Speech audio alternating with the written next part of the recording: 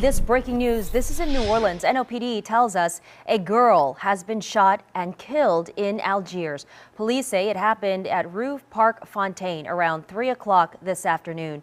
We do have a reporter and a crew headed to the scene right now. We'll bring you the latest in a live report in a few minutes. The time is